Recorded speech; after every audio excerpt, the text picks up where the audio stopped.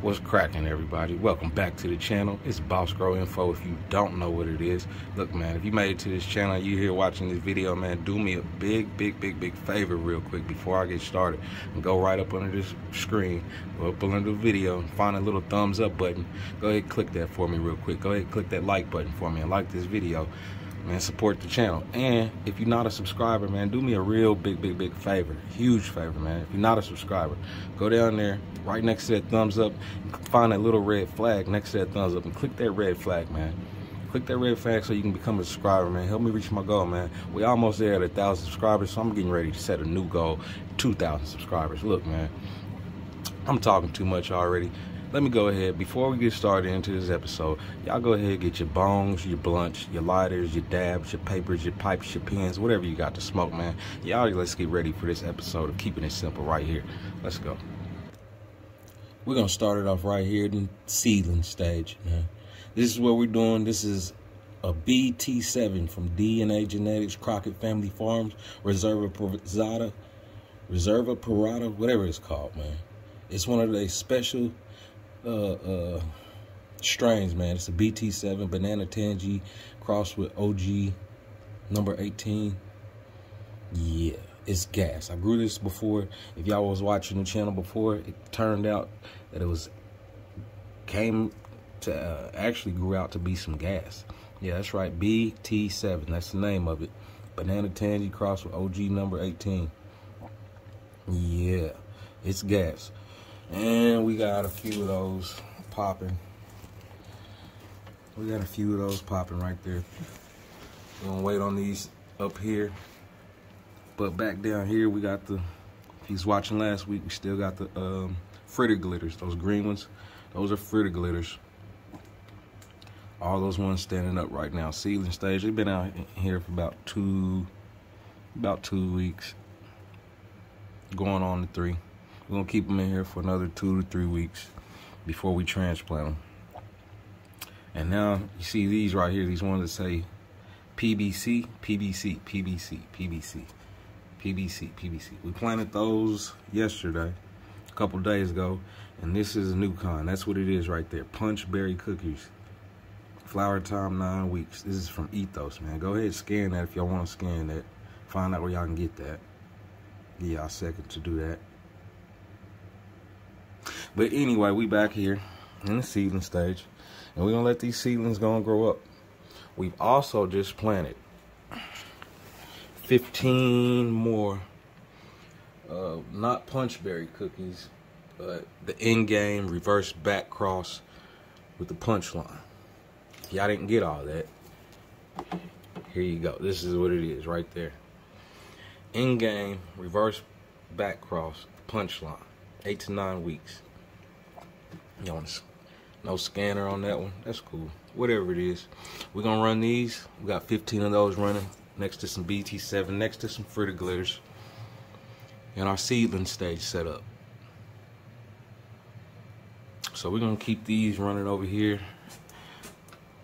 for about a month till they get ready to pop up. Three to four weeks, whatever comes first, or until they start touching the light up there.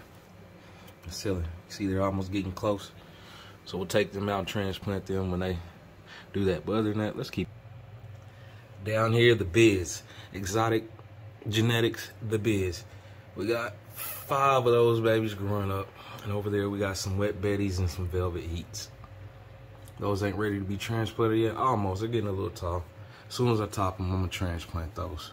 But we're to move it on over here to all these wet betties that I got planted. I'm not gonna lie, I tell y'all the truth. Some of them look bad because I stunned them. Uh, forgot to let off the recharge. They were getting overfed due to the microbial activity breaking them down, the, the fertilizer in there so much to where they were eating too fast. So I just had to give them some regular water, lay up off the recharge, hit them with that, you know, every once in a while when they look like they need it. Not every every watering. Too much kelp in it. The kelp is actually a, a, a, natural PGR, natural plant growth regulator, not, you know I'm saying, man-made. So putting too much kelp in there will cause the plants to uh, show like, mm, I don't know, like genetic traits or defects pushing them too much. Kind of grow retarded or dysfunctional a little bit. So we're gonna lay, lay off the kelp, just give them water for a few days. This isn't veg. We'll let them recover. But we're also gonna plant some more seeds and do those the right way. However many we got of these, I don't know, one, two, three, four, five, six. So we got about 20 of these right here. 20 plants in here right here, a wet Betty. We're gonna go ahead and we're gonna just water these. Not they don't need water now. When they do need water, we're just gonna give them regular water. You know what I'm saying? And keep it fresh down there. Keep the soil simple down there. Put a little uh, rosemary in there or whatever you got to keep the bugs and pests out while they're growing and recovering. Other than that, we're just gonna leave them alone, man. Let's get to the flower room. Here we go. It's day one. I just put this in here. This is a white wedding. It looks terrible. I stunted this too. Look, we made grow mistakes over here. I stunted it, got too excited, was worried about other stuff. That one, she's looking all right, not too great. And then we got a French cookies right there. They're looking all right. This is not the tent that was looking good last week. I'm, I'm actually ashamed to show this tent, but we got to show the defects, the mistakes, so you guys know what not to do. Do not overwater and stunt your plants like I did these three right here. What you want your plants to look like is not these three because this is what stunted plants look like. This is what overwatered, overfed plants look like. This is not what you want. I don't even know why I did that, but I did it. I guess I did it to show y'all what not to do. Here, let me show y'all better look. See the light green leaves in there has fading out light green. That's because they're getting over fur. They're eating too fast. See this one? Looks like it wanted to grow. Could have been a lot bigger than it is. It's got stunted. Too much water or too much fertilizer, even. too much something. just got to back off. When you're growing organically and natural, keeping it simple, you really have to keep it simple. Too much of anything is not keeping it simple. See this one over here? Same thing. Fed too much. Causes nutrient deficiencies when you start feeding too much. Starts locking out nutrients. What we're gonna do, we're gonna skip this tent because this is what they shouldn't like look like, and this is what they should look like. This is week one of flower. This is week one. Those leaves, don't worry about those leaves back there. I want you to notice the tent, how stretched out, the plant. If you go back to the last video, you'll see. Now you can't even see the really the floor print in here because the leaves are covering up everything. Branches are stretched out. This is only three plants. And this is what the tent should look like. Non-stunted plants ready to grow, ready to go and flower. I put those other stunted plants in flower because I want to. There's a special episode showing you about male plants. I'm going to show you. We caught a male plant in the garden. These are white weddings from Ethos. I think it's one French cookies in here in the middle. But these are white weddings. We're going to let these babies grow nine weeks. We're going to keep it simple. It's only week one. And this is what it looks like in week one after seven days. Now what we're gonna do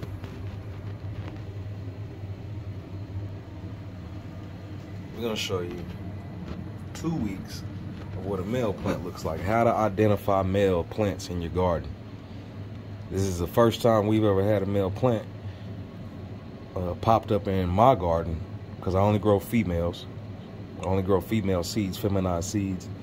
But planting uh, freebie seeds, we got one. Ethos Genetics, dozen roses, turned out to be a male. Let's go check that out. And here we are. This is my 2x2 with the uh, Dachshund LED light up there. You guys are asking me how this worked in the review. Look, this Daxon LED light, I got it turned on 80%. And if you go back and look at the last video when I put this plant in here, this is what it looks like now. It's stretched out, so that's how good the light works. It's been working good so far. I haven't had any problems with it. The only problem I did have with this light and this tent is that when I put this plant in here, you can see when I started off, see these little little balls down there, little ball sacks. Those are pollen sacks. Those are nut sacks. Those are balls. Like like on a man. Look, let's go look at another branch. You see that? Those are supposed to be pistils. Come on, get in there. Get in there, get in there. Yeah, you see that right there? Those are nut sacks. They got nut in them. Whole bunch of weed cum. Male weed come all up in that jizz. All the jizz. So what we're gonna do with this dozen roses, that's what it is. In the two by two. D Rose. We're gonna thrash this girl. We're gonna trash it. And I wish we didn't have to, because look how look how he started to grow. He started to stretch out, fill the tin up. He was growing nice. Look, he's even getting tall. See how tall he was getting? Go back and look at the other tents. It wasn't like that a few weeks ago. But now, you see those sacks on there. Let me get in there so y'all can see this too. This is a male. This is what a male flower will look like. If you get this in your garden, you are not going to be able to smoke this. Now, it is a benefit that you can use for this. Hemp fibers, and you can get the pollen, and you want to become a breeder, you can start trying to breed your cannabis breed with the male pollen. But you will get male and female seeds, 50-50. They'll be regular seeds that you produce. Out of those, you can select the uh, females. You have to grow them out, see which ones are males and females. But after you do that and you figure out which ones are males and females, you can keep all your females, reuse those, pollinate those with each other, and you can have your own strand. This is the last plant I got in flower. Deepest in flowers two weeks right now. Till we get the other ones taken care of. But right now today we're just talking about these male plants in this garden because we're going to have to chop this whole beautiful plant down. Too bad it's a male. I don't like guys. I only like women. I, I only like being around women. I don't like being around a room full of men. So what I'm about to do is chop this this man down and put a woman in here. Maybe two or three women in here. Female plants. That's what I like. Look, man. If y'all stay here and I help y'all keeping it simple in your growth, man, do me a big favor. Thumbs up this video. Hit that like button. Subscribe if you're not a subscriber. Help me reach my goals. So go ahead and support the channel, man. YouTube, man. Help support these YouTube channels so I can keep this popping, man, every week, man. Y'all go ahead. Y'all can have a good day. Smoke that blunt. Smoke that joint. And we out, man. Peace. Much love.